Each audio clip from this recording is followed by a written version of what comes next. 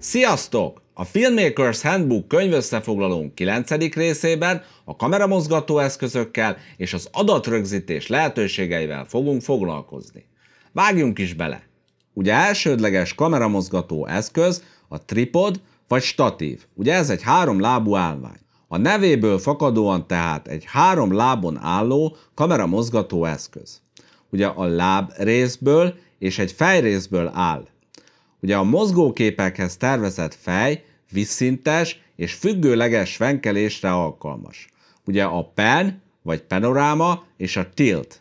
Ugye a hidraulikus csillapítással rendelkező úgynevezett fluid head, tehát fluid fejek, azok használhatóbbak az egyenletes és sima, precíz lekövetéshez, és bár drágábbak, mint ugye a csillapítatlanok. Ugye ezeket friction headnek nevezik. Most beszéljünk picit a dollikról. Ugye a doorway dolly. Ugye alapvetően gumikerekeken levő deszka, amely egy egyszerű kormánymechanizmussal rendelkezik. Könnyű súlyú, könnyen mozgatható, relatíve olcsó. És ugye, mint látjuk, a kialakításánál akár statív is rakható rá. Ugye ennek egy változata a Western Dolly, ez egy tulajdonképpen egy nagyobb változat. Ugye jellemzője, hogy az oldal fárt vagy crab dollival ellentétben oldalirányú mozgásra nem használható. Ugye maga a dolly egy integrált gémmel, úgynevezett integral boommal is rendelkezhet, ami ugye lefel mozgást, de emellett persze horizontális mozgást is biztosít. Ugye a G-barm magyarul kránkar. Ez tripoddal vagy dollival használható. Lefel és egyik oldalról a másikra mozgáshoz használható. Ugye kitűnő lehetőség az erősen felsőgépálláshoz, ha bár irányítása nehezebb, mint mondjuk a beépített gémnek. Ugye itt eltérő kifejezést használnak, mert mondjuk a képen láthatóra még ez a jib kifejezés lenne használatos, de egy hosszabb esetén, egy hosszabb verzió esetén már a crane kifejezést használja az angol.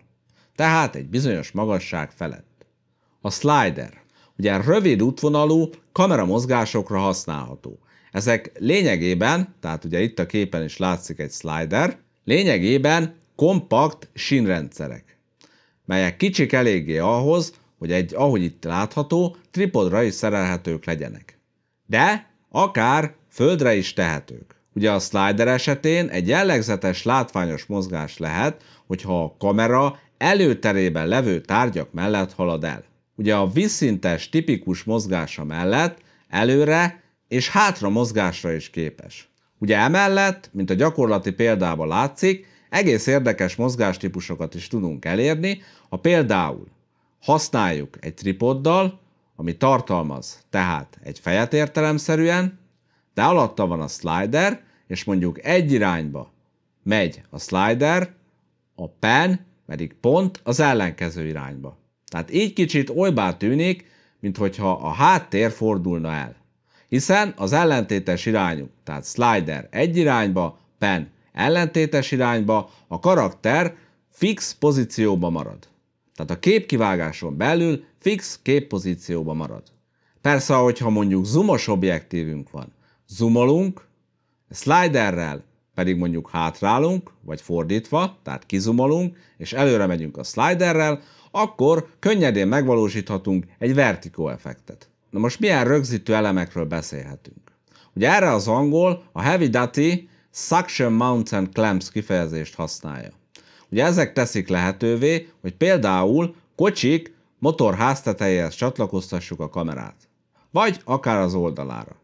Ugye egy fix rögzítettséggel ellentétben a kézből tartott kamera intimitást, spontaneitást ad. Ugye ezek főként a script nélküli anyagoknál működhetnek jól, vagy mondjuk horrorfilmeknél.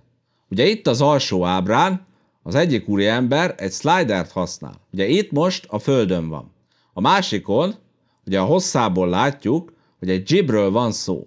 Ugye ezzel a jibbel egy meglehetősen felső gépállást is el tudunk érni. És ugye, amit még kiemelendő, hogy mit lát a kamera, mi történik a felvétel során, ezt pedig ezen a képernyőn látja az úriember. A képstabilizálás ugye a nem kívánatos kamera remegés és rázkódások elkerülésére használatos. Ugye van belső képstabilizáció. Ugye néhány kamerában beépített stabilizátor rendszer van tehát. Némelyik objektív optikai képstabilizátorral rendelkezik, amely egy a berázkódással ellentétes irányban elmozduló lencse ellen mozgatásával küszöböli ki a problémát. Ugye fontos, hogy ez kisebb bemozdulásoknál működik. Ugye a szoftveres stabilizáció lehetőséget biztosít számos vágóprogram, akár az Adobe Premiere Pro, Adobe After Effects, vagy itt, amire a screenshot utal, a DaVinci Resolve. Na most a GlideCam vagy Steadicam a kamerát giroszkópos karra szereli, amelyet hevederre rögzítenek a kameramanhoz. Úgy, mint például ezen a képen. Ugye ezzel lényegében a test remegésétől izolálják a kamerát. Ugye a rendszer a dollyhoz hasonló mozgást biztosít, de ugye növeli a mobilitást, és lehetővé teszi a szűkebb helyeken való munkát is. Ugye lényegében bármely jármű platformot adhat neki. Ugye a Schwenk mellett akár futás közben, vagy lépcső haladva is készíthetőek felvételek. Gyakorlatilag tehát az emberi kézmozdulatok finomságával, de annak remegése nélkül. Ugye a GlideCam súlyokkal valósítja meg a hirtelen mozdulatok simítását. Ugye a gimbal esetén pedig egy giroszkópos stabilizátorról beszélünk, ahol nem súlyokkal, hanem elektromos motor segítségével történik az egyenletlen mozgás stabilizálása. Ugye akár távvezérléssel is használható. Ugye ezek főleg akkor használtak, amennyiben a rendszert egy három tengeres stabilizátorral kapcsolják össze. Ugye vannak egészen kis, kézben tartható kivitelűek, amelyeket például DSLR-ekkel vagy tükör nélküliekkel használhatunk kitűnően. Vannak melyek például telefonokkal használhatók, vagy amelyek önállóan. Ugye a Freefly Movie vagy a DJI Ronin amelyek népszerűek. Méltán népszerűek, hiszen ezekkel az eszközökkel, tehát általában véve a gimbállal, az operatőr sétálhat, futhat, akár még gördeszkázhat is, plusz ugye, ahogy említettük, távvezérelhetőek is. Ugye a távvezérléshez plusz operatőr szükséges. Léteznek nagyobb rendszerek, mint a Tyler Mount vagy a Westcam, az akár csónakról vagy helikopterről is használható. Ugye ami fontos, hogy a különböző stabilizátorok különböző súlykategóriás eszközökhöz készültek. És ugye kameránként kell őket stabilizálni. Ugye érdekes gyakorlati példa, hogy egy bumpol segítségével akár krámmozgást is tudunk vele imitálni. Manapság népszerű kategória a drón. Ugye fejfölötti és légi felvételek készítésére alkalmasak. Ugye értelemszerűen jóval olcsóbbak, mint repülőről vagy helikopterről kivitelezett felvételek. Beférnek kisebb helyre, valamint alacsonyabb magasságú lekövetéseket is ki lehet velük vitelezni. Ugye ezek az egészen kicsi felhasználói beépített kamerástól a közepes akciókamerák mozgatására alkalmason át a nagy, magas felbontású, professzionális kamerák levegőbe emelésére is képes típusokig is elérhetők. Ugye a drónok távvezérlést és stabilizált giroszkópos beremegés csillapítást alkalmaznak. A kameramozgató eszközökön túl végül egy nagyon picit az adatrögzítésről. Ugye a média tároló kártyáknak számos típusa létezik. Ugye itt felsoroltunk ezek közül jó párat. Például SDHC, vagy SDXC, vagy az XQD. Ugye lényeges, hogy a kártyáknak egyrészt van írási, másrészt olvasási sebessége. Ugye az írási sebesség a kameráról jövő adat rögzítésénél fontos. Az olvasási sebesség pedig a visszajátszásnál.